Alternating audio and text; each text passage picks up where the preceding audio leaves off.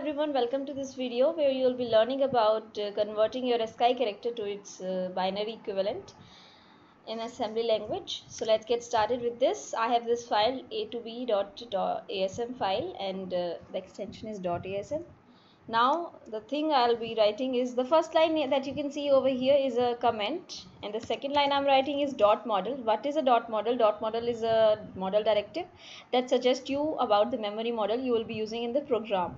I'm using small model, small memory model and uh, there are many kinds of model as well tiny, huge, compact, large whatever you want to use you may use. Here I am using small and uh, what it provides with me is three logical segments. The first one is a code segment, second is a data segment and third is a stack segment. Stack segment is used for the stack implementation of memory locations and uh, the data segment is used for the data part and uh, the code part for the code part code segment is used. Now the stack segment that is there will be having 100h I can either write it or not write it. It's optional for you. You can uh, skip it. But I am suggesting stack to take this many bytes. Okay. Now the data part is here. And in data part, what I'm suggesting, I'm suggesting an input string with label. I'm suggesting a string that is that is having this label input and uh, since it's a string then what will be the type of this string? It will be of db type. Db is defined byte or data byte. The value of the string is enter an ASCII character. And uh, what it has it will it will be telling the user to enter an ASCII character okay? And it will be the very first of the in the program. So we'll be first printing it. So we don't need anything extra uh, what I mean by extra you will be getting it in this one. So output is also of db type. It's a string. Now it can come after getting the input. So this should be in the new line. So for that I have given this 10 this 10 is for line feed. Line feed is what? For the new line character. You can also write 0 ah at this place 10 okay? You can uh, give this 13 to move your cursor from anywhere in the line to the start of the line. So your uh, string will be printed from the start in the next line using these two things. The corresponding hexadecimal code for this is 0dh okay? And for this one is 0ah now the value of the string is binary equivalent I may say EQ also. So let's say EQ. Make it simple, okay? Now this is the end of the string. This is suggesting the end of the string. Very important to include. So don't forget. Now the in the code part, whatever we will be having, we will be first printing this string to get the input. Okay. So for that first we have to get the access of data segment okay? So data segment memory location is stored at here okay? So we will be moving this location to the accumulator because by default accumulator is reading the things right? So we read it in AX accumulator and then we are moving it to the data segment register because data segment register holds the address of the data segment. So we are moving it to it the accumulator okay?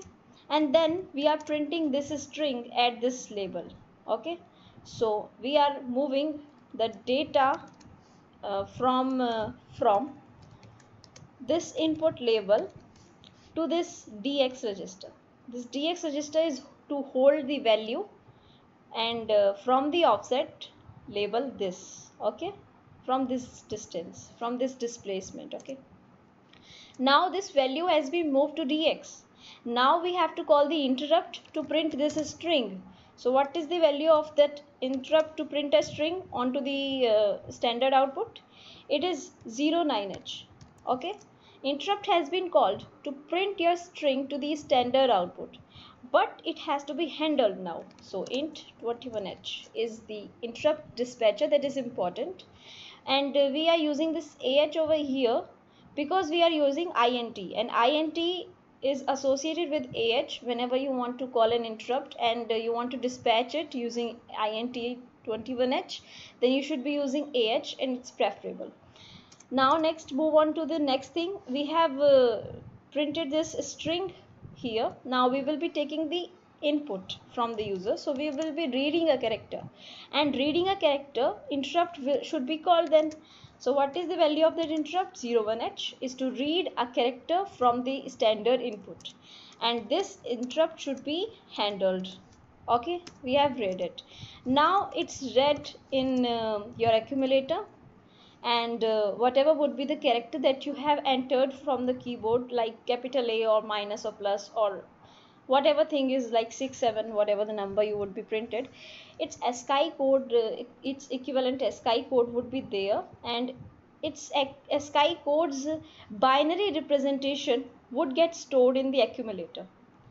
So it is of 8 bits and uh, 8 bits representation have been stored into your AL register and you have the binary value of that ASCII character in your AL register so what you will be doing you will be moving that AL to this BL register. And this BL register actually holds the result. That is the binary value of your ASCII character. Now what we will be doing is that we will be now we have the value of the binary character. Binary equivalent. Binary equivalent. Now we have to print this and we have to then show the value of this BL so first of all we will be showing this string and for string representation we have this. So let's copy and then let's paste. Now only the thing that has been changed over here is the label. So we have output over here. We are printing the output string. Okay? We are printing the output string now we have printed it. Now what we have to do is that we have to do uh, shifting of this bl what does this bl have? This bl has a binary uh, number binary form that is of 8 bits definitely. Now we have to print from the leftmost bit to the rightmost bit. So we first need to fetch the leftmost bit okay? Like let me suppose let me say that this is the binary number okay this is the binary number I have to print it. So first this value should be printed then this should be printed then this and then this and then we are moving to the right word rightmost bit right? From the leftmost to the rightmost. So first we should be fetching this value then this value and then this value. So this way we are going to the right okay? So we are fetching from left to the right. So for this we should be shifting these values one by one to the left. We should be shifted to the left so that it get out of it and we left with this this value. Then again shifting it from one place we left with this value and uh, this has been shifted. So this way we will be doing it until and unless we reach to this eighth bit so we will be doing it up to 8 times. What we will be doing we will be storing the number of times. The times we will be doing the same thing in the counter register. So we have stored it.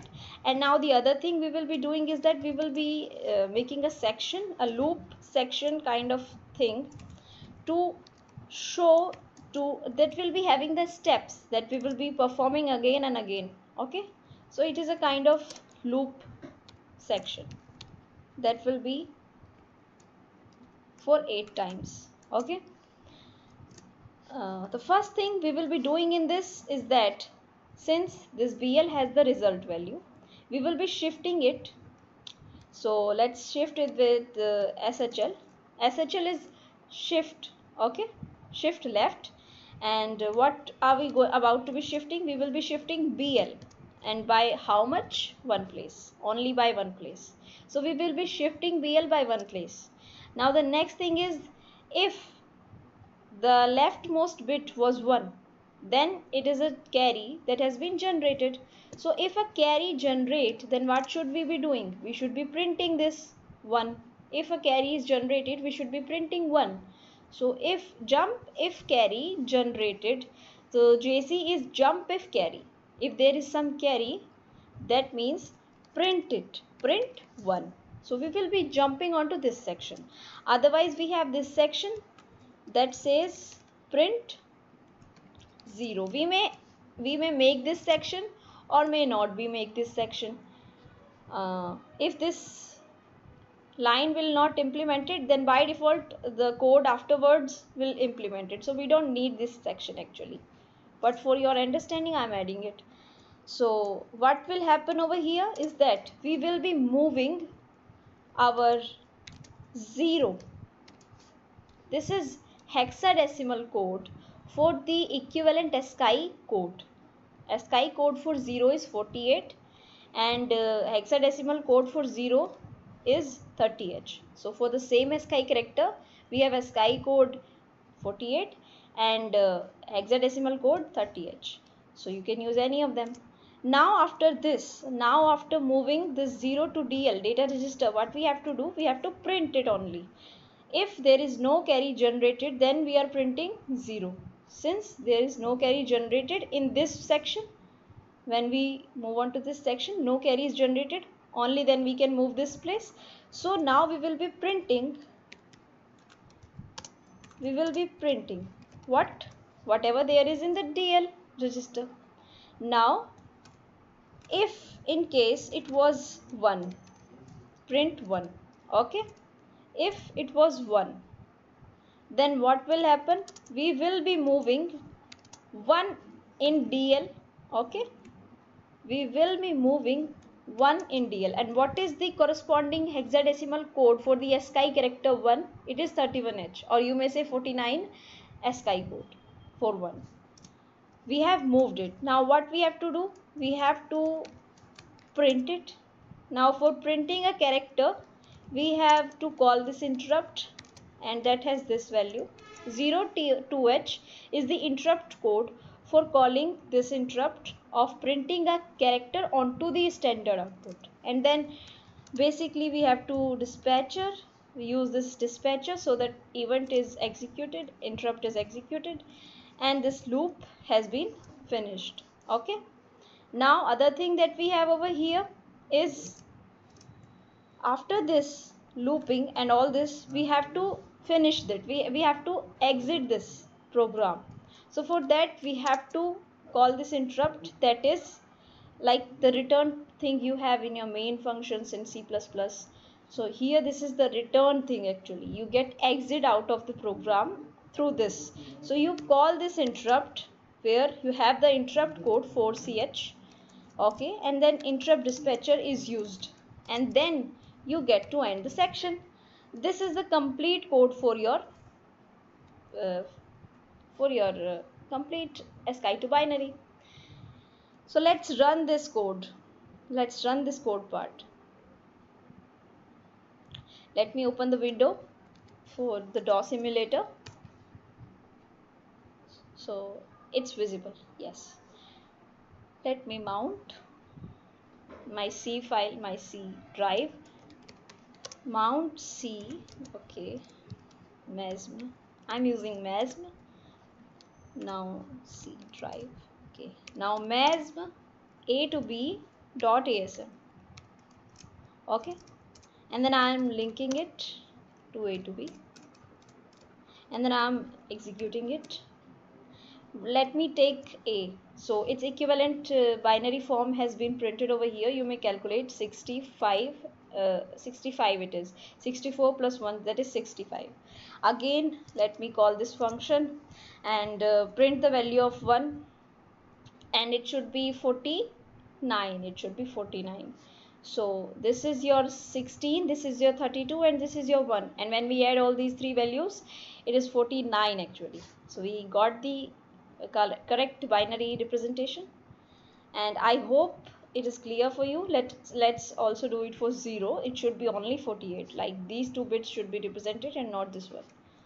So for 0 it is representing 48 binary. Uh, binary form is correct and equivalent to 48 ASCII code so i hope you must have uh, cleared your uh, you have got uh, much clarity about this program. If you do get some clarity and you liked this tutorial uh, i please appreciate the work and like this video. Thank you so much. Keep supporting